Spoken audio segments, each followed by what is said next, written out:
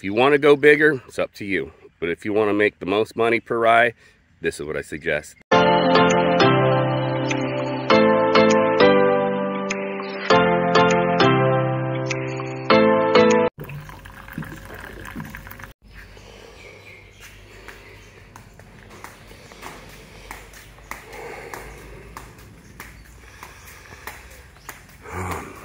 Another beautiful morning.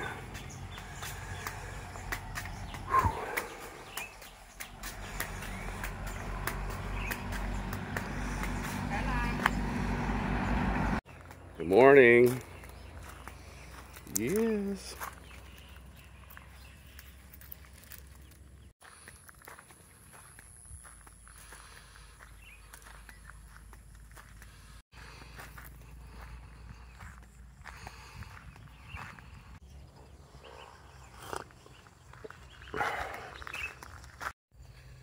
How they look? No bug. Okay. I see one.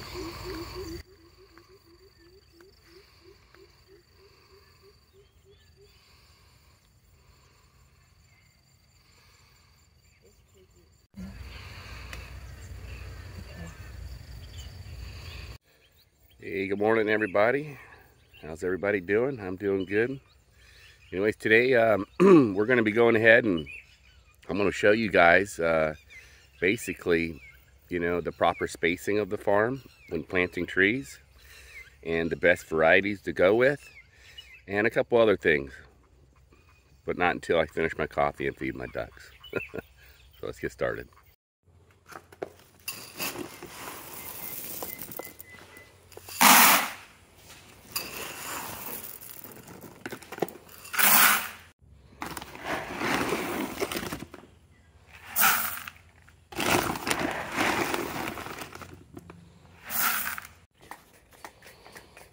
Where you going?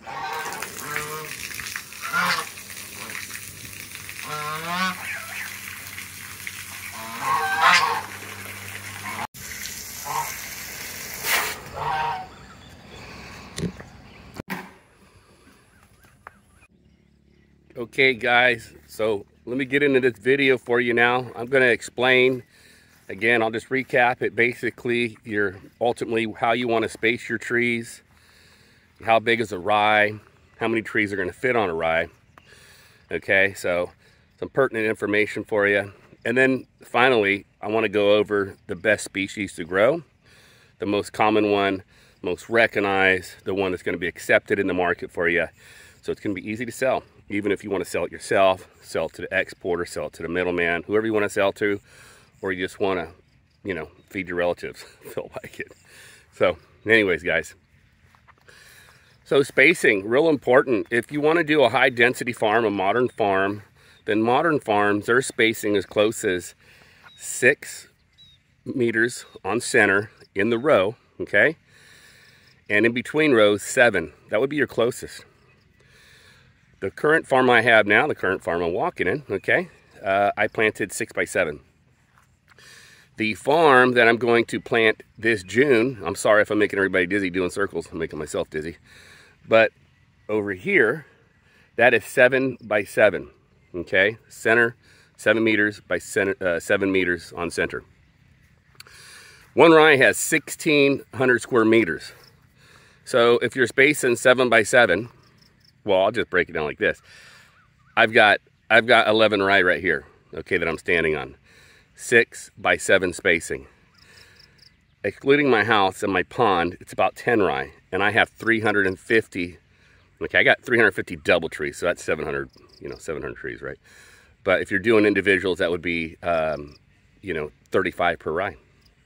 And that's even with having setbacks, you know, uh, a couple meters, well, not a couple meters, three, three meters in the back or three and a half meters in the back, three and a half in the front for driving. And then I've got about three on the side over here. Okay, so you, it's good to leave adequate area to, you know, enter and exit your farm. Very important. You got to be able to drive around it in a tractor, in a pickup truck. I see a lot of people make the mistake. They get all greedy and they just cramp everything in there and they have no access in their farm. And don't go plant next to your neighbor's fence, you know, and then expect they're not going to, you know, cut your branches. That's just retarded. I see too many Thais do that. Sorry, guys. And uh, it's just wrong. You just, bad business planning. That's just bad planning. So leave adequate space all the way around. And it's rude, by the way. Uh, all the way around your farm to have adequate uh, ability to drive around, collect your fruit, fertilize, whatever you need to do, come in and out. So per rai, guys, 35 at uh, at six by seven. Seven by seven, you'll probably be down to know, 32, you know, 30ish, depending on your spacing that you live leave in between uh, your fence and your rows. Okay, so uh, that's really pertinent. We've gone over the square meters in a rai at 1600. Pretty simple, pretty straightforward. So this is a high density uh, planting method and it's going to require you guys pruning your trees, keeping control of your trees, okay?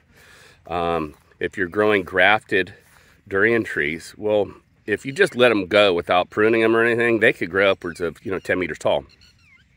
But we want to control our trees. We want to keep them within that six to seven meter range, okay? And as your branches grow out, of course, trees will accommodate each other.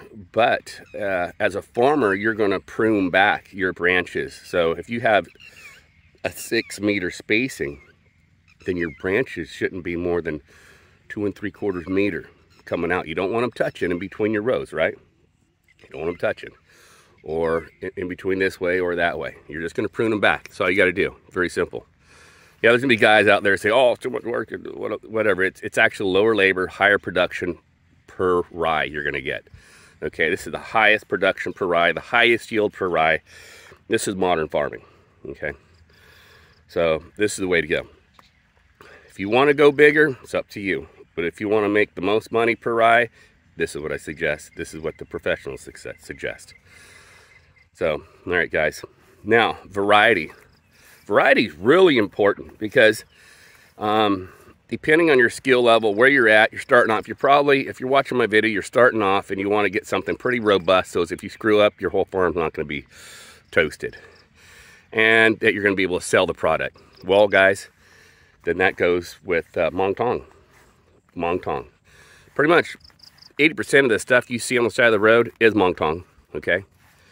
Uh, and, and let me just flick this camera around and I'll show you Mon Thong. So this is, this is Mon Thong, okay? Very robust tree. Um, it can weather a lot of stuff really well. Disease resistant, more so than other species. Fast growing, as long as your soil's good. And uh, it's gonna be widely accepted in the market, okay? So if you want a species that's going to be widely accepted in the market, less prone to disease, grows fast, and you're going to make really good money on, easy to sell yourself or through a you know middleman or exporter or whatever, then you want to go with Mon Thong. Okay? So there you go, guys. This is the basics pretty much, getting started. You know, your, your spacing important your setbacks around your property important. your species important, and then, you know, the pruning, right? And you can see here, we could talk about pruning in this video too. You want to, uh, you want in between, you don't want branches stacked. Like if I have, I have a piece of fruit hanging here, okay, it's going to come down, right? So that's pretty close. This is kind of close, but as the tree gets bigger, you know, this space will grow. Uh, up in here though, right, you can see it, they're, they're stacked up, they're too close. Eventually I'm going to have to cut one of these branches, okay? I've pruned from here down already. So I've left, I've left space. I've taken out the branches below this one here so the fruit can hang. Same thing here, I've taken out the branches below that. This one here too, this one goes to the side. So you gotta, you gotta consider where your fruit's gonna be hanging and you're gonna prune it. Now, as far as the height of the tree to control the height, once my tree gets to roughly seven meters, I'll prune it back about 75 to 100 cm. And that's a hard prune, but what that's gonna do, it's gonna prevent the tree from growing up anymore. And then it's going to strengthen the branches all around it, right? Those branches will just get fatter and it'll prevent it from growing. Will it try to grow up still? Yes, it will. It'll have uprights come up and you just, you know, you do that in your annual pruning. You just take that off to control your tree. And again, when the branches come out too far, you control the length of the branch and you, you prune it back. Okay, guys? Really straightforward. Um, I'm not there yet. I don't have trees that big, but that's how I'm going to handle it. And that's how other people that have trees that are established, farms that are established, that are doing it. There's a there's a farm called Doubletree Farm in Rayong. I've been trying to get a hold of that lady. I wanted to interview her and go put her farm on the in the blog here. But uh, she's got a beautiful double tree farm. She's got trees doubled up and they're spacing just like mine. And she's pruned it back perfectly. So anyway, maybe if any of you guys know her, I've reached out to her several times, but I haven't heard back. So maybe you can help me out. All right, guys. Hey, let me know in, in the uh, in the comments if this was helpful for you guys. Okay. And I'm interested to know uh, how many of you guys are out there looking to start a durian farm or interested in it? Go ahead, let, us talk in the comments. And if you made it this far, I mean, just like the video and you should probably subscribe. So, if you haven't subscribed already, maybe uh, subscribe and that'll help me out. Cost you nothing, but it helps me out tremendously. And likes and all that does too. I appreciate it. All right, guys, I'm going back. I got to go to my other farm this morning and I've got some work to do on it. My wife's already taken off, so I've got to load the truck up with some supplies, and we're going to be spraying the farm over there. Maybe I'll put a little bit out on tape today. But uh, anyways, guys, good on you. Thank you for being a subscriber, and we'll see everybody in the next video. Yeah, life is great. Yeah? Yeah. Oh, life is great, yeah? Yeah, that's what I thought.